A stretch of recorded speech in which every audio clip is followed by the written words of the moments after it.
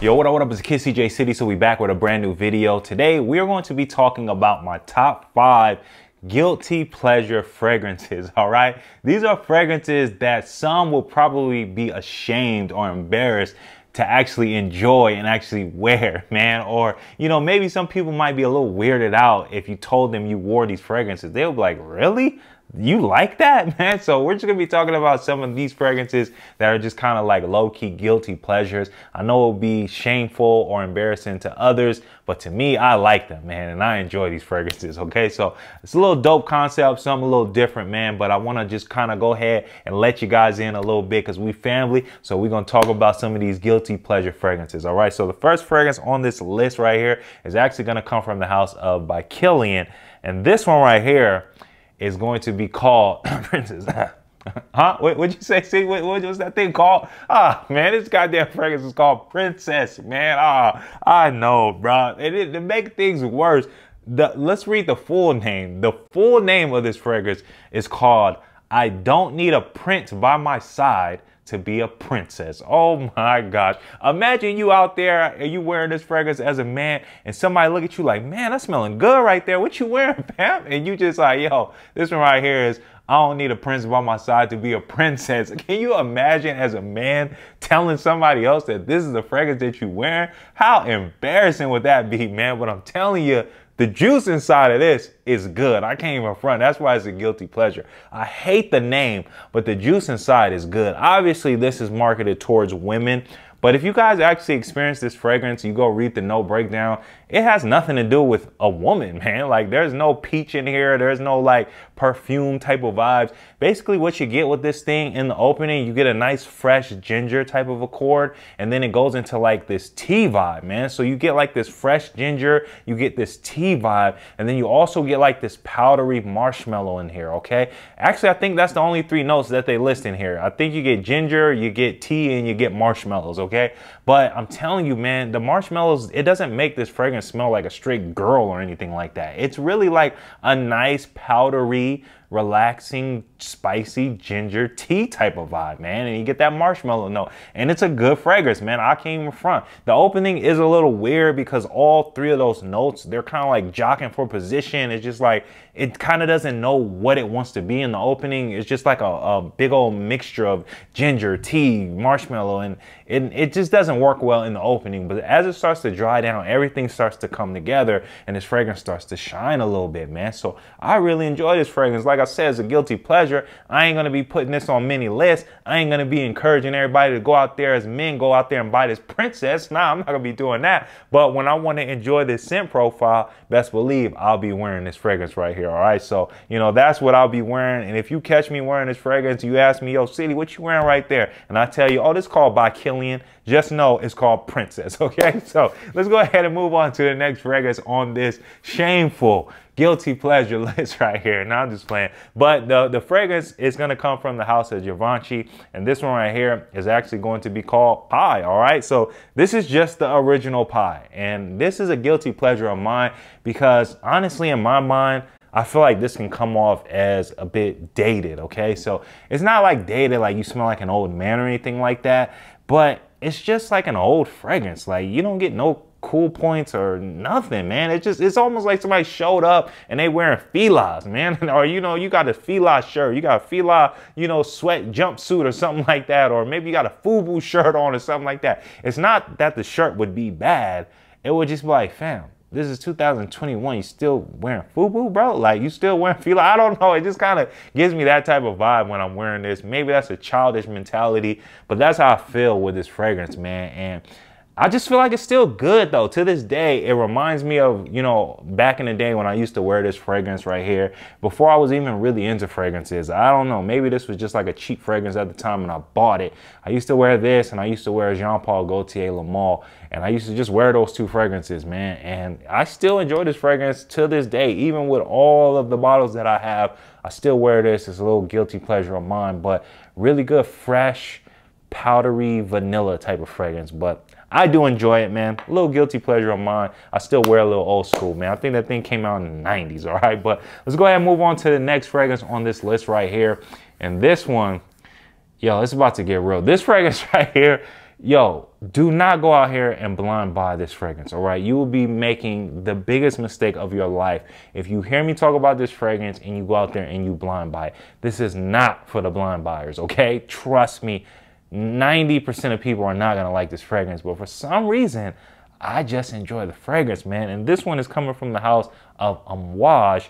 And this one is going to be called Gold Man, okay? So I actually have an official uh, sample from Amouage. I had a little uh, discovery kit and I tried this thing right here. And you guys could see the decant or the sample is basically gone, all right? So I've been wearing this fragrance and I do enjoy the fragrance. Let me tell you why this fragrance is just weird, bro. Like you guys are probably gonna be looking at me all type of foul when I explain this fragrance right here. So basically in the opening, you're getting like this.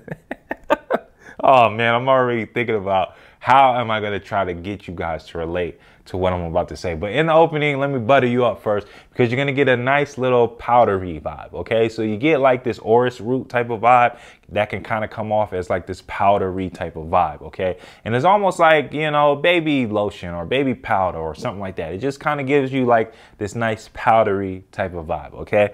Now, here comes the crazy part. All right. So, this thing had civet in it, okay? I don't know if you guys are familiar with civet, but if you're not, ooh, I'm about to blow your mind right now, okay? So civet, it comes from the animal civet. Or I don't know if it's like a rodent or like a cat or whatever. I don't know. But it, it comes from something that's called um, the perineal gland or something like that, right? And it's basically up the ass, okay, man? You gotta dig up this cat's ass and you gotta get this scent right here, all right? Oh my gosh, bro. I'm telling you, that's the only way to get that. I don't really know if that note is still allowed. I know they discontinue a lot of notes and stuff like that. So somebody probably found a way to replicate that smell, but nonetheless, it's a smell from that gland that's in the anal portion of this civet animal, bruh. It is so weird, man. So it's like, how can you wear something like that, right? That's probably what you're thinking. But it kind of has this weird, good type of smell, man. So like, I don't know if you guys like like gasoline or something, right? Gasoline is a weird smell, but some people tend to like it. It's a weird smell that people like, all right? You know, another weird smell that people tend to like is kind of like a rainfall on cement or something like that, or maybe it just got done raining and you walk out there and you just smell this wet soil or wet cement or something. People like that smell. So this one, it has like this weird smell that actually works and it's enjoyable, man. To me, I like it, man. I know, I know. I'm about to get roasted for liking a smell like that. But basically, you get like that powdery nuance in the opening alongside of that little fecal civet type of vibe, man. And I don't know why it works so well, but I like it, okay? You guys can see I basically finished this decant so I will be upping my decant. I'm probably gonna get a big one. I'm probably gonna get like a 10 milliliter or something like that. There's no reason for me to buy a full bottle of Gold Man because like I said, this is not gonna be a crowd pleaser. Like I would not wear this out. I just kind of wear it in the, the, comfort of my own home. Maybe when I'm ready to smell something like that, I'll put it on just for my own personal enjoyment. But I would never go out into the real, real world and, and wear something like this because I don't really think many people will like it. I think a, a lot of people will be looking at me crazy but this is a, a, scent that I just tend to like, man. It's a guilty pleasure of mine, hence why it's on this list, okay? Now, let's go ahead and move on to the next fragrance here. And this one is gonna come from a house called uh, Fort and Manlé. And this one right here is going to be called Faith Sultan Mehmet, okay? Now, this one, I don't really think many people talk about this fragrance, but it's not a crowd pleasing fragrance. Not really okay? The the one thing that works with this fragrance is it does smell good in the air all right? So yeah i had to learn that the hard way because when i sample stuff i go in man. I'm spraying it right here on the back of my hand. I'm jamming it straight in my nose. And if you do that with this fragrance oh boy it's gonna be an awful opening okay? I'll be honest with you. The opening is very bad all right? So you know to my nose i feel like it's like a oody, dirty, skanky oud, and then it also has ambergris in here, man. So I kind of feel like they're harkening back to like the ambergris that you're not allowed to use anymore, man. Like that authentic ambergris, man, because it's just not good in the opening, bro. And, and again, you know, just this these weird notes, man. But ambergris, it comes from whale vomit. All right. So you have to wait until whales come up to the shore, they vomit, and then people get their vomit and they get this ambergris out of it and they distill it or whatever they do and they turn it into an oil and they use it in perfumery. All right. This so weird, but it, I feel like that must be what's going on with the opening of this fragrance because it's pretty off-putting and I don't enjoy it, all right? Luckily, it only lasts about 15 minutes or so, man. But if you spray this thing in the air, you don't really pick up on it too much. But after that goes away, then the loveliness comes in, man. Basically, what you get is you get like a nice apple type of vibe, and you get a very nice creamy vanilla in this fragrance as well, man. So it's like this creamy vanilla apple, kind of little rose in here as well, man, and a lot of musk, okay? So, and it's like a nice powdery clean musk as well. So just think about that, man. Forget that ambergris, forget that ooh just for a little bit. Let's talk about that beautiful apple, that creamy vanilla that you're getting in this fragrance, a little touch of rose, and then you're also getting like a nice little kind of musky nature. And I don't know if I already mentioned vanilla, but yeah, you get vanilla in this, but I'm telling you, this is a good fragrance. It's a guilty pleasure because some people would smell this fragrance and be like, yo, City, what are you talking about? This thing is not good. And I'll be like, yo, I feel you, man. But just do me a favor, keep that thing on, come back in an hour, tell me what you think of that fragrance. Guaranteed the story was changed because it gets good. But some people, they might not want to, you know, wait, wait out that open. And, and I don't blame you, all right? But let's go ahead and move on to the last fragrance on this list here, this little guilty pleasure of mine. I truly, truly enjoy this fragrance. And this is coming from the house of Parfums Vintage. And this one is not a popular scent, but I like it. And this one is going to be called Beyond Noir, okay?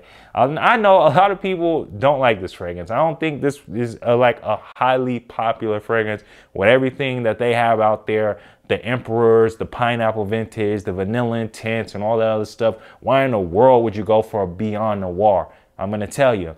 I'm a big fan of Aventus. I've tried a lot of batches of Aventus and I really do prefer the old school vintage batches of Aventus when it have that smoke note in it, man. And I'm just a, I'm a big fan of the smoke note. I like it, bro. And this one right here, it has that, that smoke note in it, but the smoke in here is just it's amplified to like the 10th degree. I'm telling you, the smoke note in here is very, very strong. Almost so when I first sprayed it, I was like, yo, I like this, but boy, is that smoke strong. I'm only doing one spray. I used to just do one spray on the back of the neck and that was it. And then I also used to have to kind of layer with like some, some normal Aventus to kind of have that, that smoke note kind of die down. But, you know, as things just grew on, I don't know if this fragrance just matured or my nose just enjoys a little bit more. I'm doing about four or five sprays of this and I'm not even spraying the Aventus no more, man. I'm just loving the smoke note that's in here. A lot of people say that to them, it smells like, you know, cigarette ash or to them, it, it kind of smells like, um, kind of like burning woods or something like that. Not to me, man. It just has like a nice kind of barbecue, charcoal type of vibe, man. It's almost like if you just, you know, you just go outside, you got a little cigar and you just lighten up the grill and you just out there chilling and you just barbecuing some food for the day, man. And that's just kind of the, the vibes that I'm getting with this fragrance obviously you're getting that nice pineapple vibe. You get that nice patchouli, you get a little musk, you get the apple, the black currant, and all that good stuff that you get from Aventus, but you get that smoke note in this fragrance, and I like it. A lot of people, they're not gonna enjoy Beyond Noir. I already know they're not, but hey, more for me. But that's basically going to do it. That's going to be my five guilty pleasure fragrances. I don't know if you guys are anything like me, but if you are, Drop those comments down below. Just give us one guilty pleasure fragrance that you wear that you probably would never admit out loud that you like. But let's just go ahead and just be an open book for a little bit and admit it in the comment section, you know, and that what's your one fragrance. But that's going to do it for me. You guys already know what it is. I'm CJ City. I'm signing out until next time. I appreciate all the love. Peace.